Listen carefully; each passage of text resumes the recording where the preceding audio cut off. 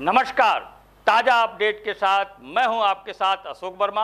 आप देख रहे हैं टीवी ट्वेंटी न्यूज़। अपने अपने क्षेत्र की खबरें देखने के लिए बने रहिए मेरे साथ।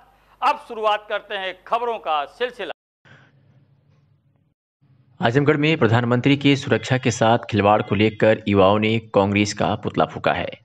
बता दें कि प्रधानमंत्री की सुरक्षा के साथ खिलवाड़ करके कांग्रेस सरकार ने भारतीय संविधान का मज़ाक उड़ाया है। ये कहना है अमित जायसवाल, अजय सिंह, शिवम सिंह और मनोज पटेल सहित कई सैकड़ों कार्यकर्ताओं का।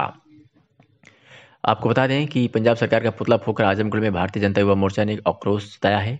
कांग्रेस पार्टी के लिए जिला अध्यक्ष निखिल राय ने बताया कि कांग्रेस सरकार के परिवार में सुरक्षा की चूक से दोनों प्रधानमंत्रियों की जान गई है।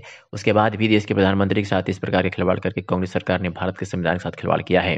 भारत के मान सम्मान का मज़ाक उड़ाया है। नीरज सिंह, नगर अध्यक्ष सनी सिंह, जिला मंत्री किसान मोर्चा व देवेंद्र प्रताप सिंह सहित तमाम लोग मौजूद रहे। जी जो आपने ये आज पुतला फूका है इसका मुख्य उद्देश्य क्या था?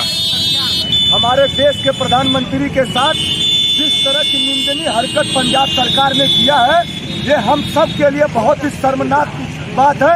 उन्होंने भारत के संविधान भारत के संविधान के साथ उन्होंने खिलवाड़ किया है। जिस जिसके साथ कई प्रधानमंत्रियों के साथ खिलवाड़ हुआ, जान की हत्याएँ हुई हो, वो परिवार अगर इस तरह से कर रहा है तो ये बहुत ही निंदनीय हरकत है और ये सोची, समझी, साजिश है।